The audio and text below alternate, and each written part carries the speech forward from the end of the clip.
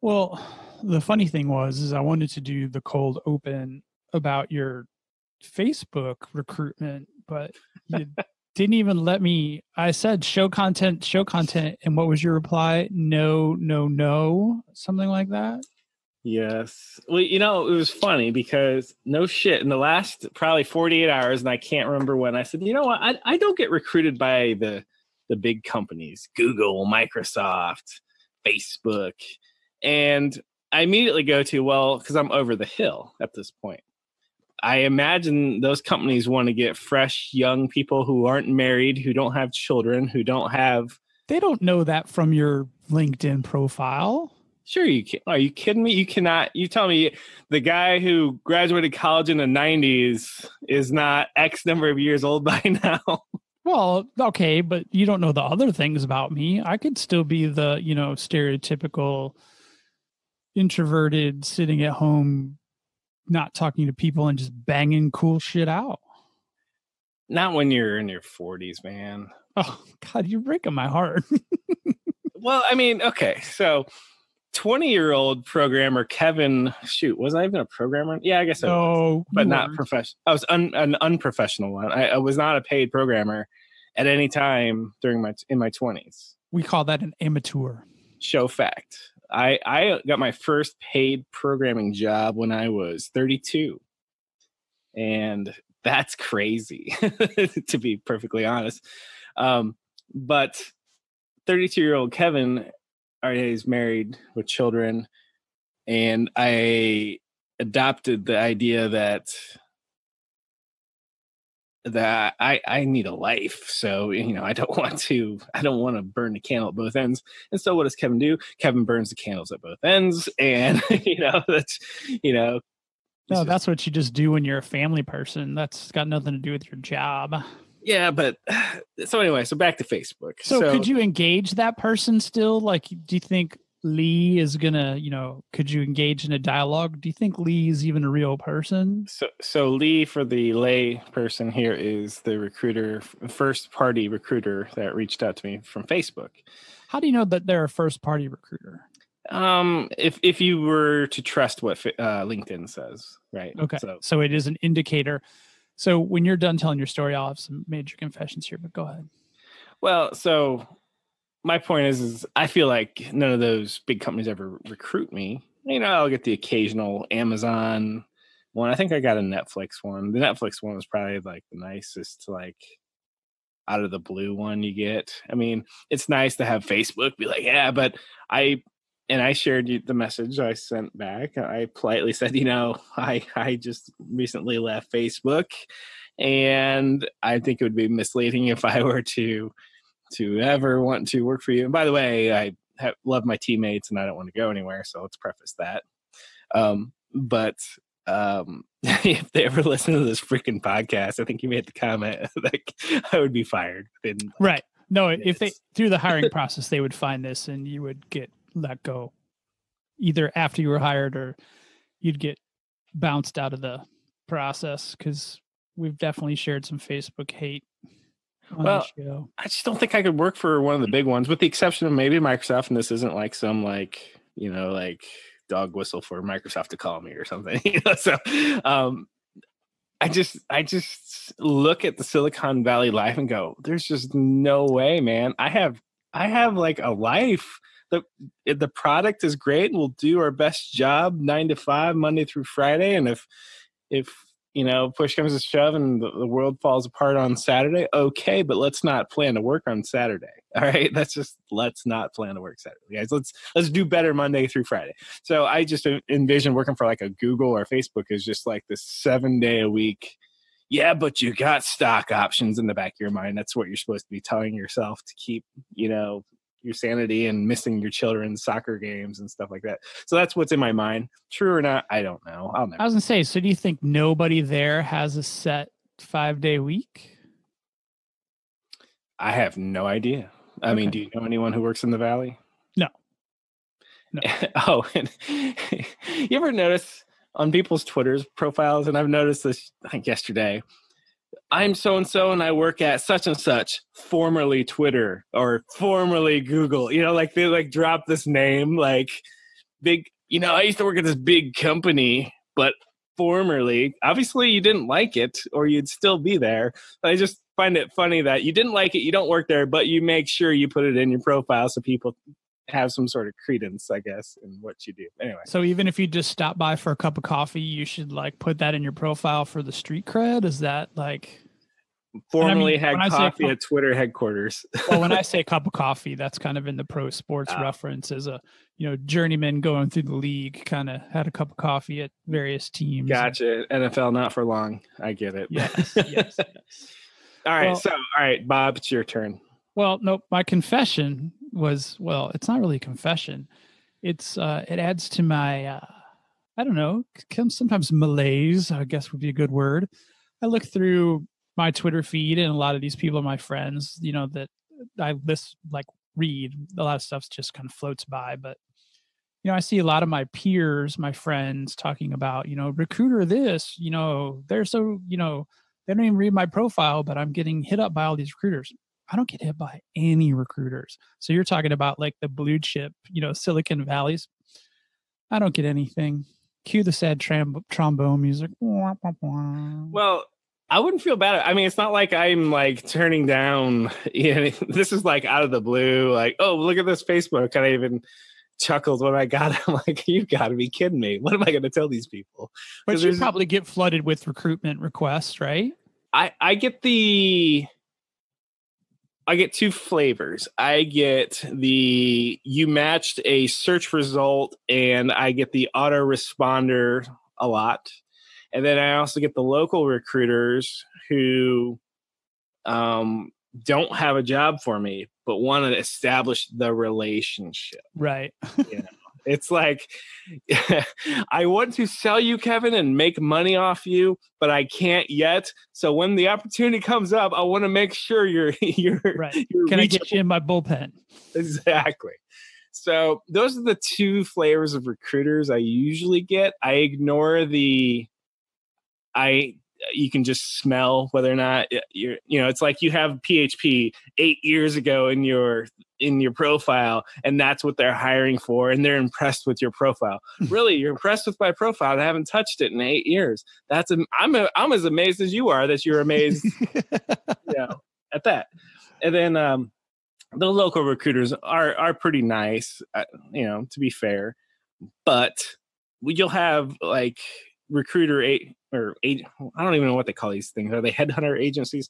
Wherever these recruiters hang out, um, it's like they work under the same umbrella and they don't realize that three people from the same agency are all trying to establish the same relationship.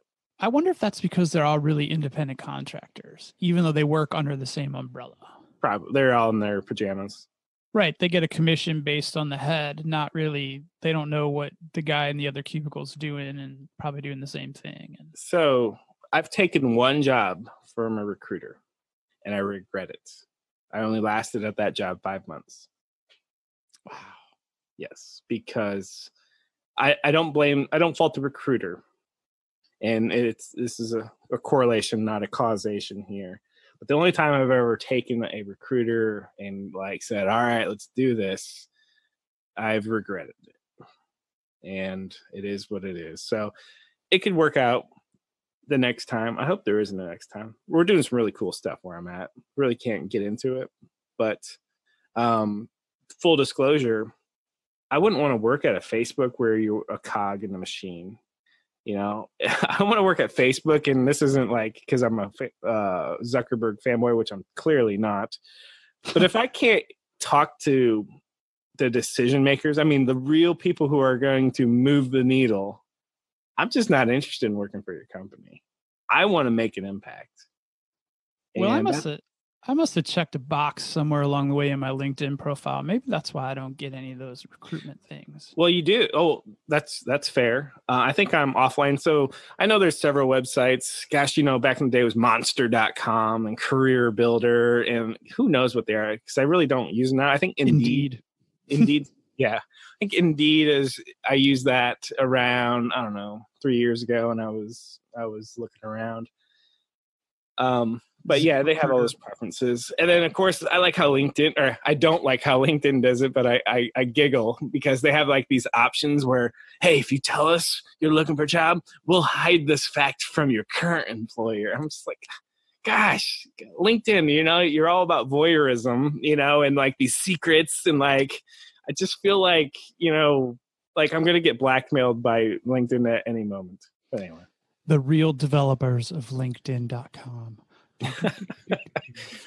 yeah, so uh, LinkedIn, it's like such a good idea, but such a piss poor execution. You are listening to the Bob and Kevin Show with Bob Barr and Kevin Giszewski. Each week, we cover relevant tech and social issues related to technology. And more weeks than not, we're joined by special guests to add additional perspective to our topics. Our website is bobandkevin.show. And our episodes can be found on virtually any podcast network. Be sure to follow us on Twitter, Instagram, and Facebook. Just search for Bob and Kevin Show.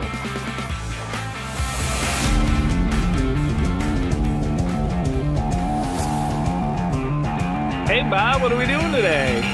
Well, Kevin, I can't believe that we haven't covered this on the show before, but I think today we're going to talk about what it's like to work from home since we were just talking about being recruited and all that crap. Uh, and we've chosen a, a career path that's very specific to us, and I think we're going to chat about it a little bit. And the rest of the other crap that we usually do with meandering and bashing of large conglomerate digital properties. I'm Bob Baty-Barr from the Bob and Kevin Show, and my co-host, as per usual, is me, who never answers with his name, or when I say say hello, he says hello. So, bring us into this topic of working from home. I'm sorry, I I uh, I kind of go out of my way to be a difficult co-host, Bob, because I I just know how it gets you going, gets your juices flowing. You just want to grinds my gears. Exactly. You know what does grind my gears? I have an iPad and I love to draw with uh, Sketches Pro, and the iPad's about the only Apple product that I'm really into right now. I don't have an iPhone, but that's another topic. But you know what? Either I A don't know or B they make it really hard, or maybe C both. Um, I don't want to use iCloud to back up the crap that's on my iPad. So I've got you know pictures, I've got drawings, and I feel like Apple's holding hostage my data because if I don't want to play in iCloud, you know, I want to connect to Amazon Cloud Drive or or what have you.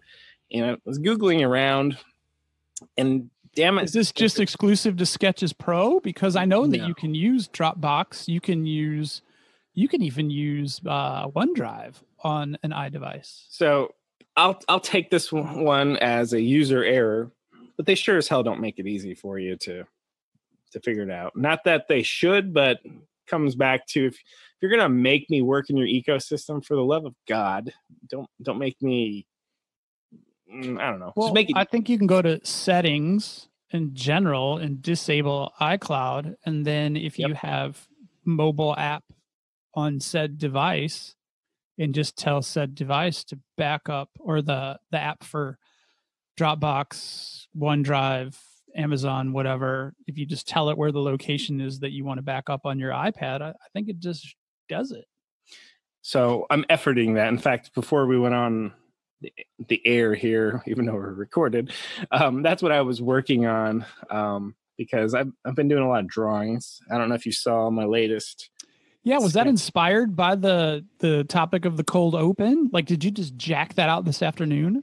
Uh, yeah. So I usually get a drawing done like from start to finish in a day because I, I, usually don't like to linger on one drawing because I say, well, whatever I can get it done in a day, that's it, and let's ship it. And once I ship it, it's good. So for the lay listener, I'm doing like a uh, tech slash Silicon Valley monopoly board, and I was just trying to come up with some witty things on there instead of uh, uh, monopoly money. It's everything's in Bitcoin prices. Uh, instead of paying the uh, Oh, that's brilliant. The tax thing, it's like the third rectangle. Uh, you have a data breach, pay 200 Bitcoin. Um, uh, instead of taking a ride on the, the Reading Railroad, you can take a ride on Tesla, Uber, Lyft, and, you know, etc. So nice. Um, starting to come up with different ones there. Uh, I'm having trouble with community chest because I kind of want to switch that out with you know something techy. Um, I, my my boardwalk replacement, I picked Apple just because they were the first to a trillion. Then I well, put Amazon as Park Place. Community chest would be like Patreon, wouldn't it? Ooh, I like it. See, see, oh, this is good stuff. Collab. It's a collab. Yep. Live collab. live recorded. Um, All right. So, so. I'm going to inject here something that I usually inject like at minute 50. And I'm going to say that the uh, thoughts and opinions of Bob and Kevin on the Bob and Kevin show are exclusively the thoughts and opinions of Bob and Kevin and not their employers. Because we're going to talk a little bit about working from home. I'm going to try to bring us back to the topic. And uh, so you and I both work from home or work remote, I guess, but I work from home. You're back working from home, yes? Yes. So I had been working at the Chamber of Commerce for a while, trying it out, and turns out I learned that I I just hate even doing that. I I, I I'm a creature of habit, and I like to work in the place where I habitate it was the shoe thing, right? Because we talked about this online on Twitter this morning a little bit. It's because you don't like wearing shoes anymore, right? And that's such a weird thing, is it not? I mean, because you, you go to a regular job, you're like, you know, you're either dressed up, dressed casually, but you always got shoes on in all those situations. And you're right, it's weird to code with shoes on anymore. I don't, I only wear shoes when I leave the house. In like, I work out barefoot, I work barefoot, uh, you name it, I'm barefoot. So I ran a Twitter poll a few weeks back about wearing shoes in the home. I'm totally, I think it's so disgusting when somebody like walks into your house and doesn't take their shoes off. I and, just don't understand why people don't. It's just like, so what were the poll results though? Um, it was it was mostly what I thought that about forty percent were like, yeah, it's disgusting, but it was about thirty percent was like, eh, it doesn't really bother me, and thirty percent says it doesn't bother me. So for me, if you ever want to wonder why I come to this conclusion, I offer Exhibit A, which is an airport restroom, um, urinal, or any public restroom for that matter. Those are the same shoes that people are wearing in your house. That's disgusting. Yeah, but in the same regard, though, and this is going to get really dicey here. Um, I would argue that if you're in a house where you're raising small animals, also known as children, and you're not wearing shoes in your own house, it's kind of like walking barefoot in an airport restroom. I don't know. I mean, my my kids are pretty clean. Of course, you know everyone's gonna say, "Well, my kids are the best," and whatever, whatever. But yeah, I'm, I'm gonna say. But that. have your kids always been clean? And have your boy children always had impeccable aim? Um. Oh, absolutely not impeccable. I'm 40, and I'm sometimes I'm like, how the hell did it go? What is a what? what? No, I, I wasn't even looking that way. Right. You know, it's like, what is going on here? So no, um, but they're all trained to. You better clean up after yourself. Yeah, and I've seen how well children clean up after themselves. Just saying, just throwing that out there my my boys are 10 and 17 so they're old enough to uh i can threaten them with taking away things and they they totally get that they're like oh whoa whoa whoa, whoa we're good we're good like Inspection. their ability to breathe exactly so um oh wow okay so coding with shoes uh that was the thing we identified today is like wow, that you know, and both of us I think agree on that. It's like, oh, it's kind of weird to code with shoes on. And you're definitely self-described as more hipster dirty hippie. Me. I'm a okay. dirty hippie. Your words, not mine. Dirty hippie, not Kevin. And, and I'm more of the uptight. I wear a button-down shirt even when I code from home, usually. That just blows my mind. I like. I'm dressed for speed and comfort, man. Well, I, I, I have a lot of client interactions, like video client interactions, and if I have my Slayer T-shirt on with all my tattoos showing, I just feel it has a different vibe than if I at least cover up, and you know, from the, the waist up, I look like like I like I'm at least coffee shop worthy. Well, you know? all right. So then here's a really good question though, because we're doing video right now while we're doing this podcast and you've got that low keyboard camera. God, Is that the camera that you use for your yes. video conferences with clients? So right then now you crouch down. Do or, um, or are I they staring at your neck the whole time? Sometimes. and your fingers, the tops of your fingers and your neck. Um, it depends. So I'll have to check myself out, make sure I'm framed. But yeah, uh, side note, Dell XPS, what the hell were you guys thinking? Because you put the camera down here where the keyboard meets the screen and it has this like looks like I'm I have giant spiders in my home when I'm typing and like video chatting. Yeah, it's weird. Well, I know why they did it. Why? Tinfoil tinfoil hat time, everyone. So they did it because they've run algorithms to know they can watch your fingers and they'll know your keystrokes, and it's like a key logger. Ooh. Ooh, yeah. Um, okay. Oh, total tangent here. This is my fault. No, for... we never do tangents. Bob, do you know who Johnny Appleseed was? Well, obviously, I didn't know him personally because I'm not quite that old. But if I'm not mistaken, was Johnny Appleseed from Indiana? Yeah, Fort Wayne, Indiana. and he like precise. threw some seeds around or something, right? Yeah, I can't tell if it's like local folklore only or if this is like national or No, I think Johnny Appleseed is global. Okay. Because my kids celebrate at school Johnny Appleseed's birthday, and I believe it was either yesterday or today. And I was just like, you know, is that like a us thing or what? And the reason I bring this up is Johnny Appleseed used to wear a a pot for a hat. Yes, like a, I remember like the book. Saucepan, right? And I grew and, up in Ohio for the record, so I remember this from growing up in Ohio. And we have a local baseball team that's totally Johnny Appleseed themed. So the mascot's name is Johnny. He wears a like a plush, you know, fake tin uh, saucepan. Yeah. And then the team is called the Tin Caps because of that. Oh, I wonder where that came from. So when I originally heard they were going to change the name of the baseball team from the Wizards to the Tin Caps, I'm like, you got to be effing kidding me. But now it actually is growing on me. I'm like, it's pretty good. To wit, we need to name our listeners, all three of them, like you know, like as a, as a plural. So if we, if they wear tinfoil hats, should we call them tin caps or tin cappers? I don't know. Is is that stealing from Johnny Appleseed folklore or? That's all right. I'm waiting for the cease and cease and desist before I I I believe any of the copyrights have been infringed. All right. So for right now, they're tin cappers.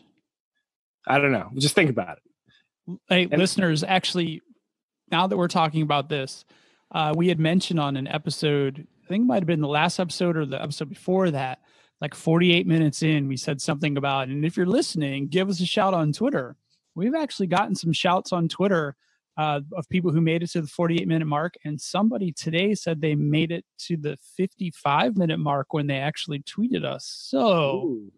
so Ooh. I guess those listeners should chime in and let us know if tin cappers or uh, what should the Bob and Kevin loyal listeners be referred to as? Something so cute, short, you know, like rock stars do. So, Bob, we uh, we took our advertising revenue, which um, oh, we're finally going to talk about these.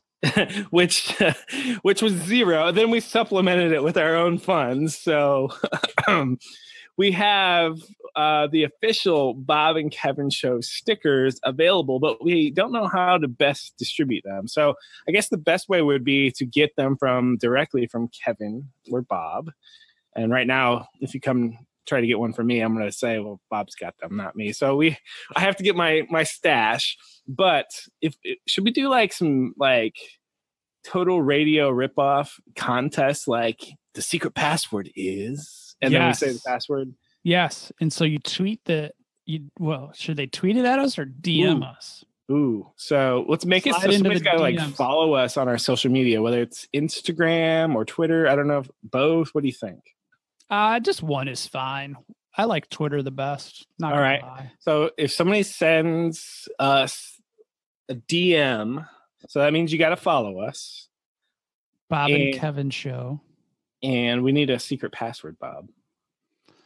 The secret password is sticker. And the spelling counts, right? I mean, I sticker. Yeah, if you fuck up the spelling of sticker, you're not getting a sticker. So yes. So we have no idea how to get it to you. We might like have to buy stamps and like envelopes and, and shit like that. But we will we will create a a digital DM relationship with you. Ooh, and we should definitely say address. while supplies last because yeah. we're not sending thousands of stickers out. And I don't know what the supply is right now. We we like, we could send hundreds out for sure. Ooh, oh so. no no no no no no! I don't. I ain't got time for that. so maybe maybe we'll send a Kevin, few. Kevin, we'll I think we're, I think we're safe. Okay, I think we're safe.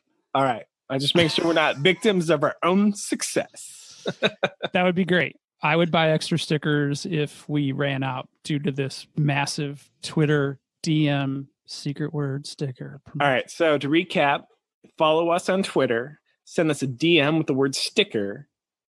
And it's only good for maybe until the next episode, right? Because we'll probably have a different password at that point. Right? Sure because you know so, we're all about changing our passwords here at Bob Exactly, exactly. So next week the password is is Q five percent. yes. H seven capital L.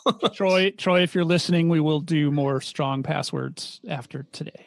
Yes, um, I'm sure so, sticker has been pwned. So if you send us a, a password and it's now expired, we're just gonna have to send you to the next episode, right?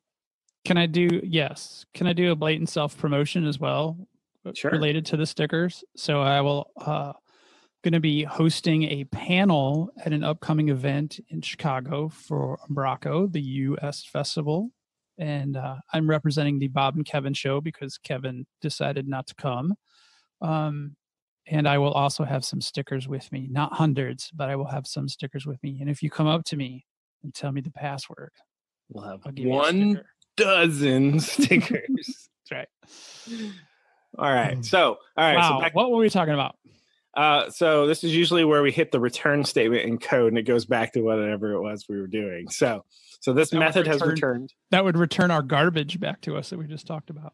We have now cleared this from our call stack, and now we are talking about working from home. So, well, uh, that's actually a great segue because you actually dropped some code knowledge on Twitter this morning about working from home in your morning routine, or was it the entire day routine? Uh, well, it's mainly, mainly my morning routine. I mean, if I get up and I'm like bedroom fresh and it's time to work, I will just be off. Wait, what the hell does bedroom fresh mean? Oh, you mean bedroom stanky? Yeah, it's the opposite of fresh. um, so the you know I can't. I gotta wake up. I gotta eat breakfast. I gotta get the kids. You know, do my part for the kids in the morning. I, I take my kids. I drive them to school in the morning. This is pre-shower. This is this is well, it depends. Some some days I'll be like, uh, let's do the shower after. Let's do this. You know, so that's variable. But by time I get into the captain's chair and ready to code, I have to have a coffee and I have to be showered. I have to be fully dressed. My hair has to have mousse boogers all in the front, so it's all good to go. No shit, you put product in your hair before you oh, work from oh, home? Yeah. Oh my god, you're such a pretty boy. Yes. Um, you know, I'm just gonna accept it. Yes. Yes. so what? oh, and I love you for it. so, um, so that's my morning routine. I in my when I am not normally in a transient uh, living situation, I usually play some sort of video game to get my my acuity going. So, what is your what is your lag time from wake up to productivity? My lag time from wake up to productivity. Work I, productivity, sorry. Oh, you mean from when I start working to when I feel I'm or from when I wake up in the no, morning to when I'm doing something? Yes, from when you wake up until you get into the captain's chair. I'm doing the air quotes sign. Um, actually, it's. I think I can give you an actual number: two and a half hours.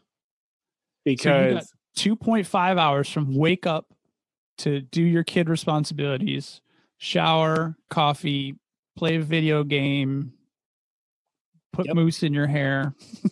yep. So I would I would say somewhere between 8:30 and 9 Eastern I am effective. Now some days I'll the early bird will will get going because if if I'm like super excited about a problem You know, because if I end the previous day and I'm like, damn it, I can't figure that out, it'll bother me for the next several hours after work. And then I'm like, oh yeah, I got an idea. It may not work, but I got an idea. And I might start working quicker, but I'll still go through my routine, just might do it faster. You expedite the routine. Exactly. So, oh my gosh, this is. What about you? Well, all right. Wait, wait I got. I got to go back to the mousse Uh-oh. thing. So, do you still? use, so, do you still use mousse? It's not you, moose. Okay. Okay. Are we really going to get into my hygiene?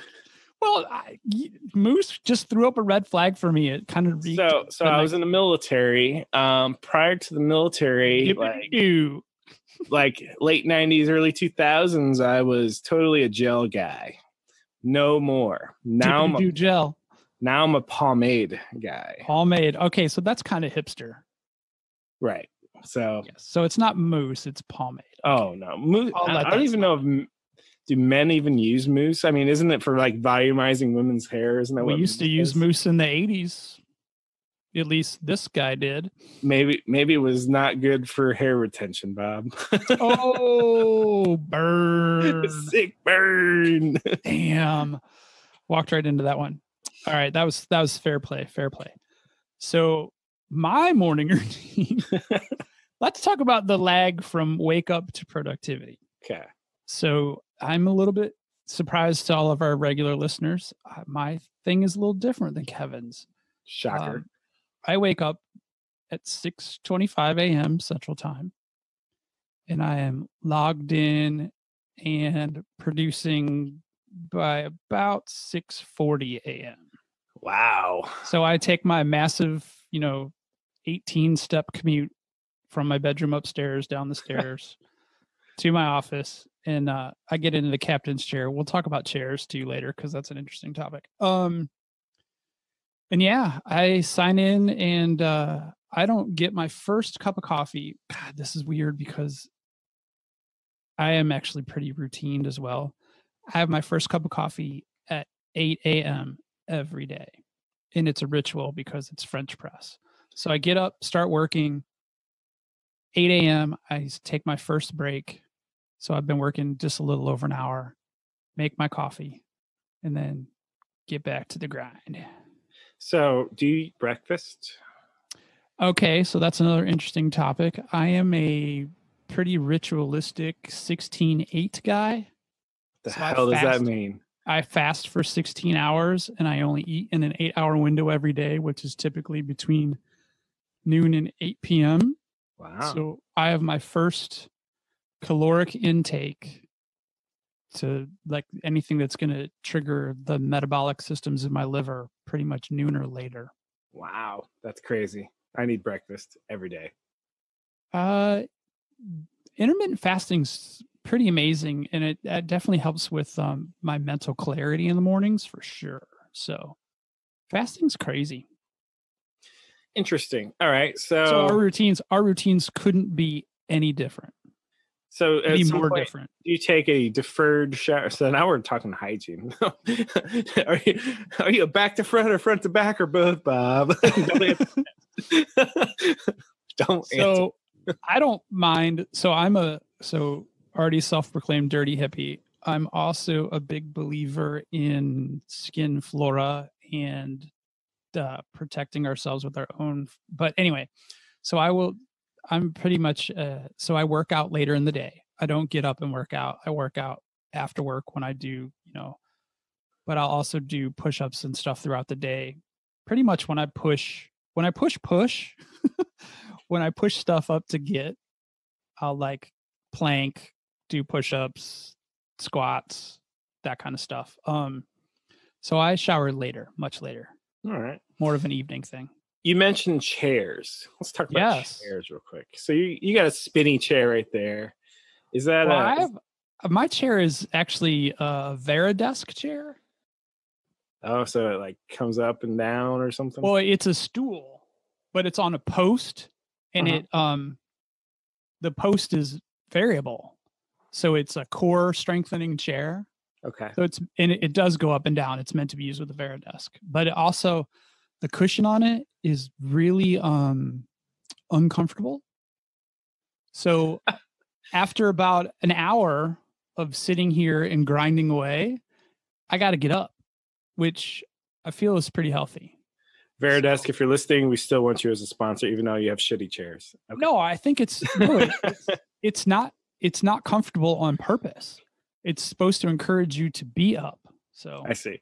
So I I am presently using at home in the office a for lack of better term a fast food restaurant chair. It's, Wait, what is that? Oh, you mean like it's got like, the hard plastic molded? Yep, if you were to go to like a Wendy's and steal one of their chairs. Oh, dude, that's awful. That's you. what I'm using.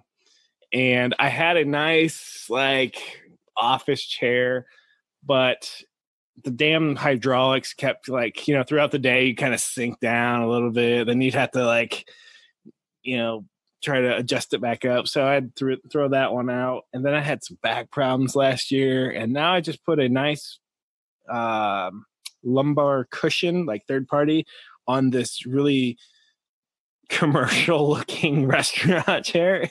And that works great for me. And that's such a weird thing to say. Are you getting up during the day? I mean, like, what's your up down kind of routine? Ah, uh, so more getting up is best, you know, more frequently. So I'll have to take the dogs out, you know. So there's some natural ones in there. Oh, I'll have to use the oh, restroom. Oh. I'll just get hungry because I'm I'm a slob and I love to snack all day.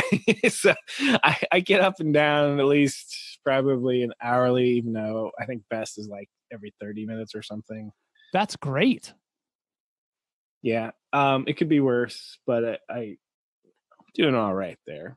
Because that but, was actually one of the things that came up on our. I mean, like we had a really engaging uh community Twitter conversation about the work from home thing. Like people kept jumping in and exercise came up pretty late in the thread but you know that whole getting up and being mobile and there's so much so much to that not just you know for keeping years from being shaved off your life but like the whole mental clarity and you know that kind of thing too what about what about lunch so lunch is usually the questions like do i stay in save money or do i go to town and get out of the damn house because I've got cabin fever like a mofo.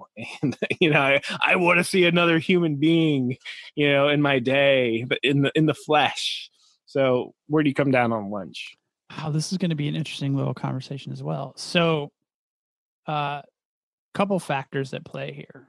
One, uh, my children are all older, and we typically have one to two fewer cars than people in the family which i know sounds a little obscene when you talk about you know a five person family we've only ever had up to three vehicles but my middle son just moved to texas and he bought one of our cars so now we have two vehicles and my wife works out of the home so she takes one and my daughter drives the other to high school so I'm usually left here every day without a vehicle. So I have two options Jimmy John's, which is a sandwich shop, freaky fast, freaky good. Uh, delivery or are you walking to it? No, it's delivery. Okay. So uh, you have the app, but that actually is only when I'm off my ketogenic diet wagon. So typically, when that magic noon to one o'clock bell rings, I will go cook myself up a couple of eggs and a half an avocado. And if I'm really adventurous, some bacon. Ooh, you had yeah. me at eggs and bacon. No, no. Yeah. Don't know about avocado, but the avocado gives me some healthy fat. So that's like my first meal of the day. So I typically have, I mean, not typically, pretty much almost every day I have breakfast for my first meal, which is at noon.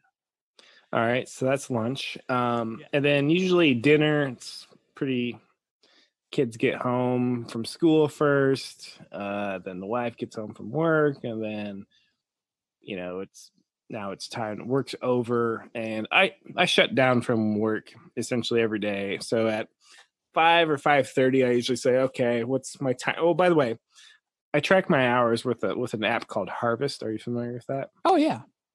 So I do the timer thing. So I may have one or more clients through the day. And when I have to do context switching, step one is to go to Harvest, start a new timer. I do the right. timer thing typically rather than just say, well, I think it was a half an hour, because it's real hard for me to actually gauge time when you're really into something. So I really love that the timer feature.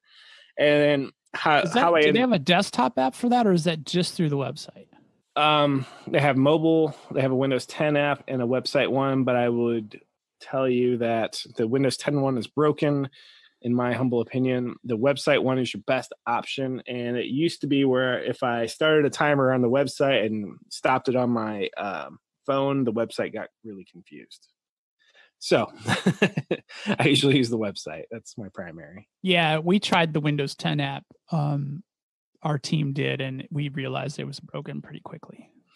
Yes. Um, I like I like the fact that my phone will remind me that hey, your timer's still going. Especially if I'm like out at lunch, I'm like, oh shit, so I got to stop the timer, back off like ten minutes or something, you know. But in general, that's uh, it works really well. I've used it shoot since like 2013, so that, that app's been around a long time. But what I was getting at is, at the end of the day, um, we're we're we're very healthy in terms of our work days when I put them put in my eight hours, it's it's time to time to, to push stuff till tomorrow. So that's a really good question, though. So since you don't commute, well, but except you do have like a two and a half hour lag time before you work. Uh-huh. See, but you don't you don't feel obligated. Well, because you're not part of a team that doesn't commute, though or what's the question, does. Bob? Well, the question is so you said the eight hour thing. So you cut it off pretty strong at eight hours. Yes. See, if I did that, I'd be done working every day at two o'clock. Well, that isn't that called flex time? And isn't that it is called flex time, but so okay, this is a very interesting topic though, because I work as part of a larger organization where everyone doesn't have the work from home option mm-hmm. allegedly. So I have many of the people on my team, most of the people on my team have to commute to work. So they put in their eight hours, and that's perfectly fine because typically they're going to have anywhere from an hour to two hours, sometimes even more on either side. So that's that without a blink of an eye turns into a 12 hour day for them so since I enjoy my productivity boost not having to commute and I don't have to commute, I do feel obligated to put in much more. Like I'm typically most of my days are nine and a half to ten hours eh, recorded so, time. So we're talking forty five to fifty a week. Yeah. I'm pretty like I'm pretty standard 48 plus. So the first time I worked from home in 2013 to 2014, the company policy was is if you get in 37 and a half hours you're good. And that's big company that's big company policy too which is pretty interesting. Well this was a small company. This was 12 of us or whatever. Right. So but i guess that's it, pretty standard labor type stuff. And then where i'm at now we have no official policy other than get the you know get the job done and take care of yourself you know um, and i've never been yelled at for i mean i put in 40 so i target 40 so just to be clear it's not like i'm looking for 37 and a half or or i refuse to work 45 or 50 i the goal is 40 and right and if you say eight you're going to hit 40 yes and so that's that's my goal. Eight hours a day is my goal but some days if i put in 10 which is happens i will definitely say you know what? I owe myself two hours later this week. So it's either Tuesday or usually Friday. I go, hey, you know what? I'm putting in six today because I, I got 10 over here and Harvest knows that I'm about to hit 40. And, you know, it, it just keeps track of that. So that's, that's typically what I do. Um, in theory, I do that as well, except I do it much more on a rolling basis. Like if I have like a series of hard weeks where, you know, like I'm putting in a minimum of 10 hours. And, you know, maybe like three Fridays down the line, I'll just be like, you know what? Today is going to be a fiver. or maybe a four if I can get away with it. But you know, at the end of the month, I'm still like way, way up on hours.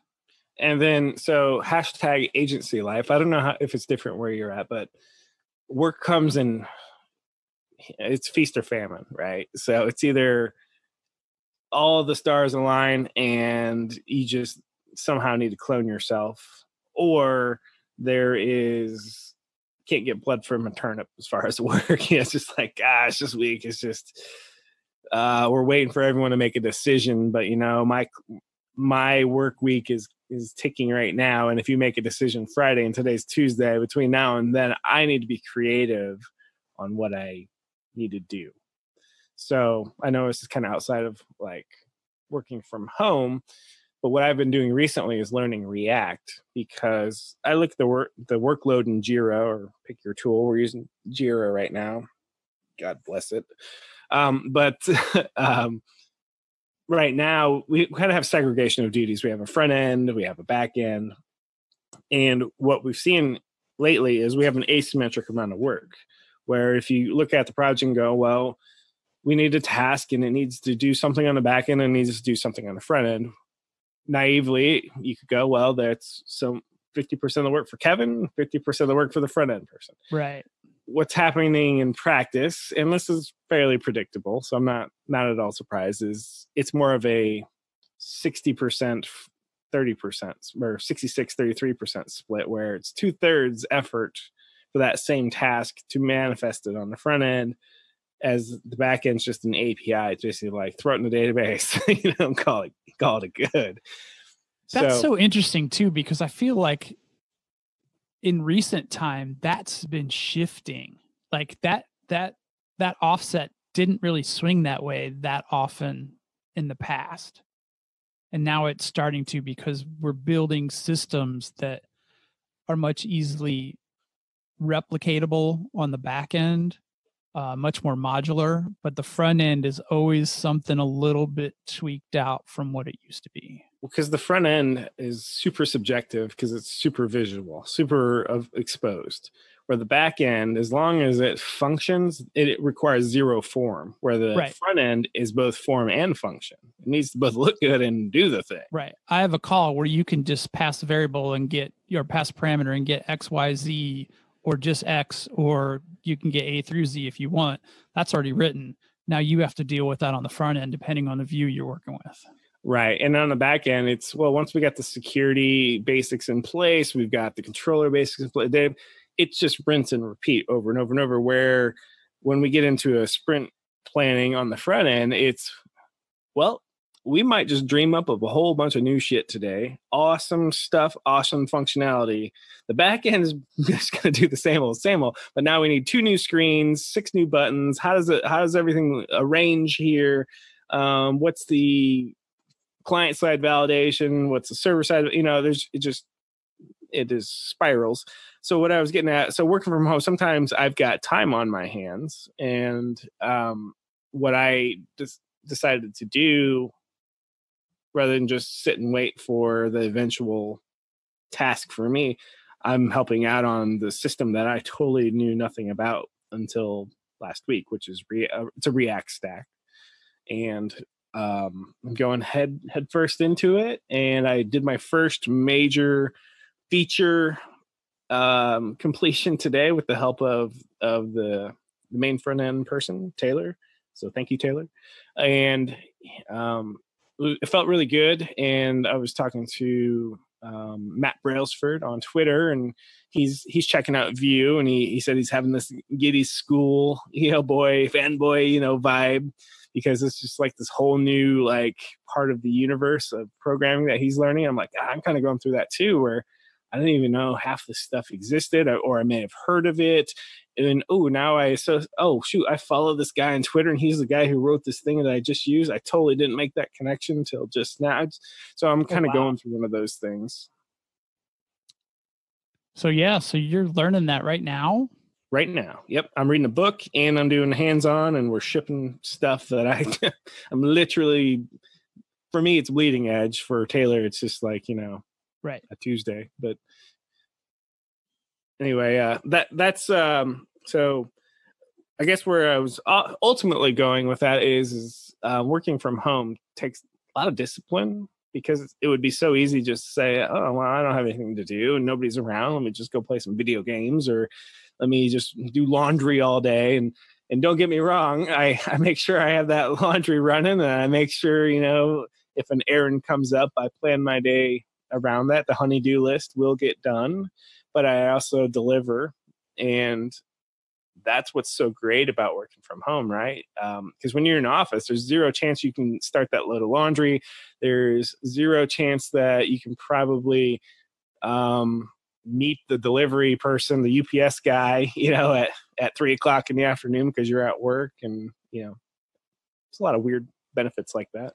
Yeah, I was going to ask you when you mentioned it earlier, like um, when the kids come home. So my kids are older, so that's not nearly as an event as it used to be. But with my kids all being just a couple years apart, there was a long time where, oh, we didn't even talk about summer yet. So that's interesting. Um, where, you know, school is over, mom is at work, so dad's the only guy around, and you got a house full of kids after school.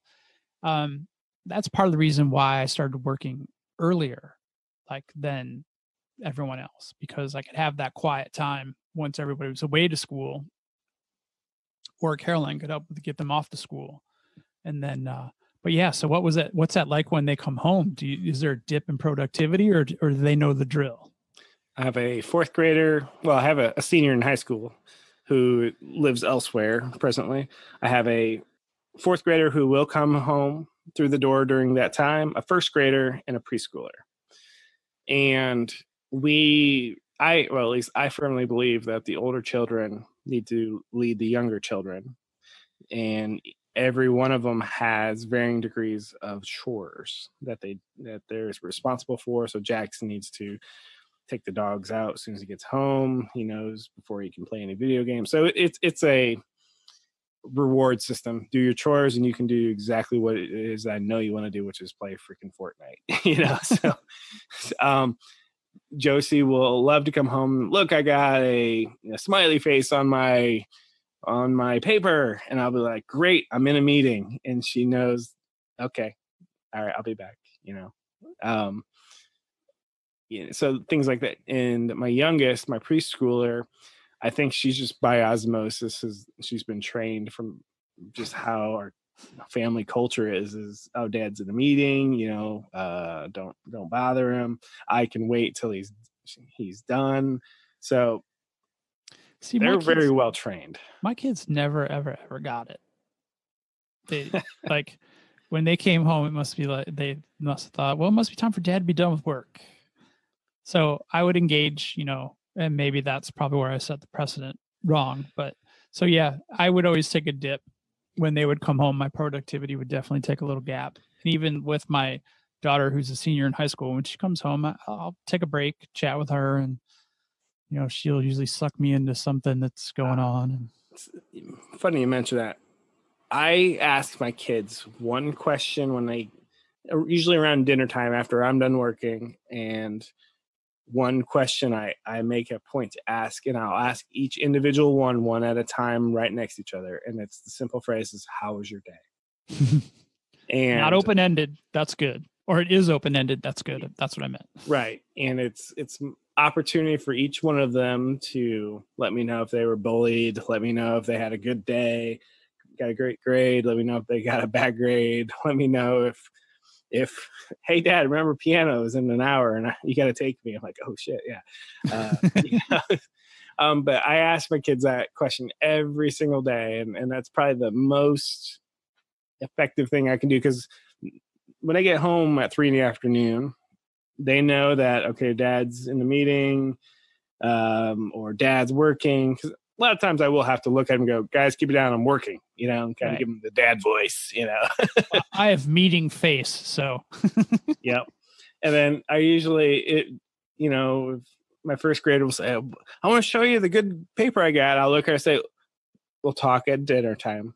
You know, she knows I'll ask her, how was your day? You know, and that's her time to kind of decompress or, or be excited or whatever. And so they're, they're pretty well trained now they're not perfect. Trust me. There's days I'm like, gosh, dang it, guys, be quiet. you know, I'm I'm in the meeting, you know, hit mute on Hangouts, you know, yell at him, unmute, hi, guys, uh, and then you know, just pick up where you left off.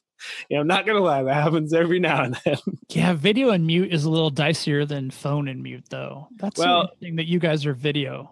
Yeah, I mean, if my video comes off, you know for sure I'm probably turned my head and and, and I'm I'm yelling at somebody to keep their voice down or or take the dogs outside because I got a yipping dog or something. So, so what is it like in the summertime? Because I mean, your kids are still young for the most part. Well, we live rural, and right now we're living on a farm, and so the kids like to be outside and you know uh my 10 year old farms with with grandpa and uncle like gets in the combine and you know this time of year and he's, he's out actually he's out right now uh they're picking corn and all that right now um my younger daughters um spend a lot of time with grandma so right now we're we're living uh as a what, what do you call a family where you got you know your family plus the grandparents. Kind of I don't know if there's a. I'm sure there is a term. Not nuclear family, but it's like. But it feels like that might be the one. It, it's it's like you know. It's very. It feels like some people would probably be like, "Oh man, you live with with uh, uh, you know your in laws or whatnot," but it's really not a big deal. In fact, it's very advantageous. You know when when hey kids go bother grandma and dad's in the meeting or you know. And it beats the hell out of being homeless. Oh well that too. Yeah so uh or living in a hotel. Yes yeah, so no complaints whatsoever. Um in fact my uh, my mother-in-law is a great um i don't want to call her babysitter but it takes a village to raise families yes. you know yes, and she's does. definitely a big contributor. So there we go. So it honestly, it's never been a problem just because this is for for the formative years of most of the kids. I've always worked from home, so this is normal. This is what they expect. This isn't like weird. And the only bad thing here is, is as my kids grow up, they'll think they'll get to work from home. yeah, I worry about that a little bit too. But I was always really good because they would always ask the questions like, you know, dad why do you why do you work from home? And i'm like well i get to work from home and here's why i get to work from home. And so i would kind of outline the you know the things the attributes about me that you know prove have proven to my employers that i can work from home. And then i also kind of model like that if you want to be the kind of worker that does work from home this is what you have to be able to manage and deal with. And also like you know strive for that you know you might not necessarily work from home but strive to have those qualities that an employer would give you that opportunity if you wanted it so bob i know you and i both get the call every now and then that says hey i need you to be in big city x on friday for that FaceTime right? for one meeting for for a two hour meeting. I'd like you to fly. I'd like you to travel for 16 hours for a two hour meeting. Yes, yes, I, so, I know that drill well. So I'm pretty sure I have it better than you because I don't have to go to Denver, which is where the bosses are. Uh, I don't know. I haven't been there since probably 2016, and I'll I'll be going here soon again. Um, but uh, I think you travel way more than I do, right? A, a little bit more. Um, the crazy thing is, I've been so busy with productivity stuff that there hasn't been very much opportunity for me to go um, anything that I do travel right now, it is client based, and that pretty much could be anywhere. And I have flown literally, you know, many hours of the day, traveled many hours of the day for a day trip. You know what? It's, it's always not road warrior life though, because I only do it like once every couple months. It's, I'm always confused on what to do with the hours. Like if you travel, 10 so hours. Have, right. But no, is that corporate. work hours? Is that not work hours? Well, we have a corporate, we have a category for that. It's actually a travel category. So depending on the client, that can or that may or may not be billed. Billable versus not billable, get that. But what about Bob hours. So if Bob's trying to shoot for 40 hours a week and he just Oh no, that does count. For, that does count to my total. All right, that's what I'm asking because uh, it, it's it's never really been defined in my past. So I, well, it works that way for me because bottom line is is when I'm doing that, that's actually taking away from my productivity time. Calls are the same thing for me.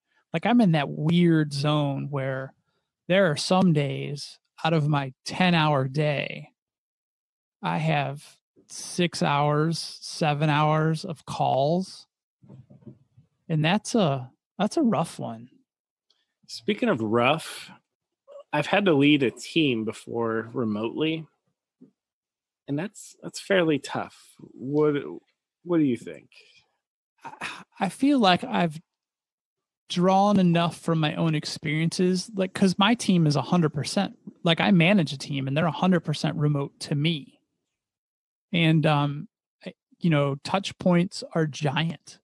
So I stay in contact with them as much as I can and still be productive myself. Um the ones the the team members that I know are more independent, I will let them drift um, and I'll just touch base with them maybe once a day or maybe once every couple days. But I, I, I still like I don't micromanage at all, obviously, because I'm not touching base with them all the time. But I've really not noticed it being difficult because I've never managed anyone locally. I guess. Bottom line. Gotcha. Why is um, it? Why do you find it so challenging? Well, I don't know. Um, sometimes I feel like because I was in the military, leading people for me is a face to face, you know, natural thing. So I've I've done the remote thing for a while. So it's it's just tough because when when you because I I was leading a remote team, um, a lot of times if you're spread across time zones, which I'm sure you can uh, relate. relate with. you know, like so the mountain time zone's interesting one because when I'm going to lunch, it's only 10 o'clock in the morning there. So that's usually mid morning. That's like right prime time. They want to get a hold of people, schedule a meeting, and things like that. Um, and then when I get back from lunch, um, and I don't take that long, and then I get some work in, it's about time for them to go to lunch. So there's like this weird four hour window of where it's difficult to herd the cats, um, depending on the time zone. Yep. And so it's it really it's a it's a challenge of geography and time zone and less about people.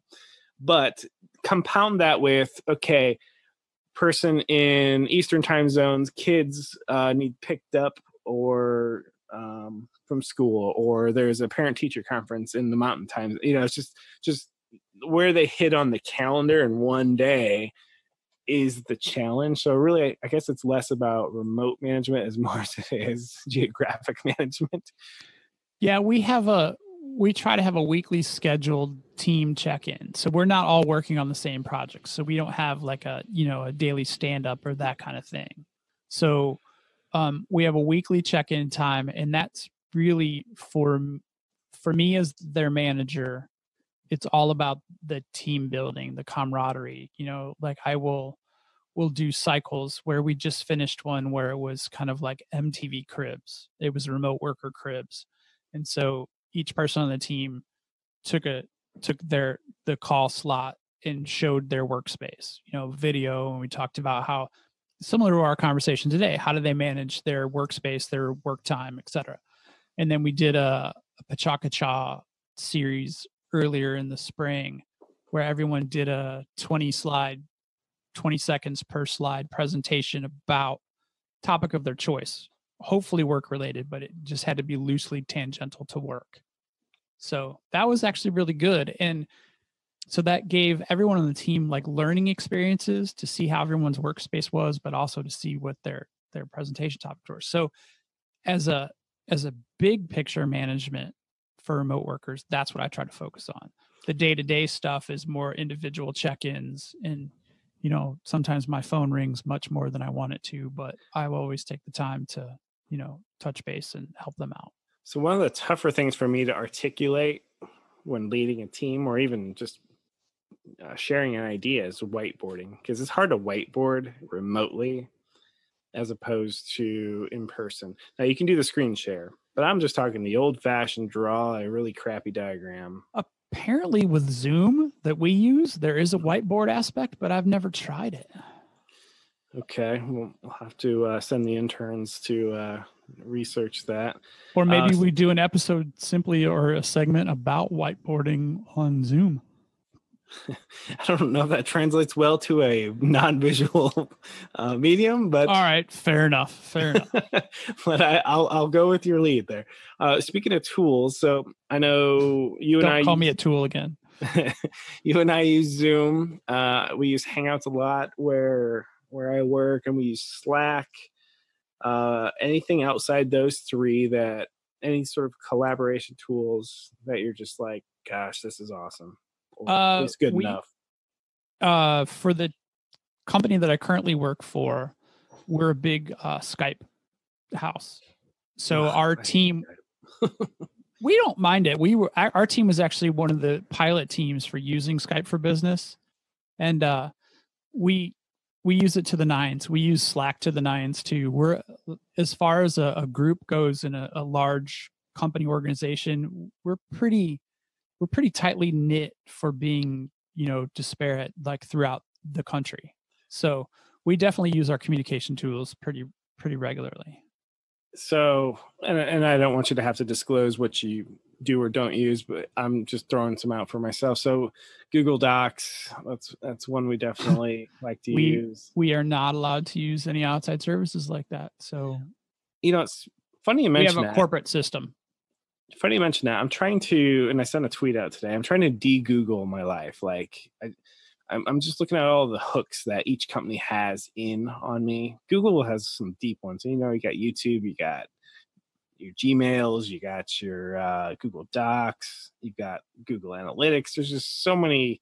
Like, if if uh, Google turns out to be like they sacrifice kittens on the weekends and I just want to walk away from them, it'd be very hard to do right now. Heck agree? yeah, heck yeah.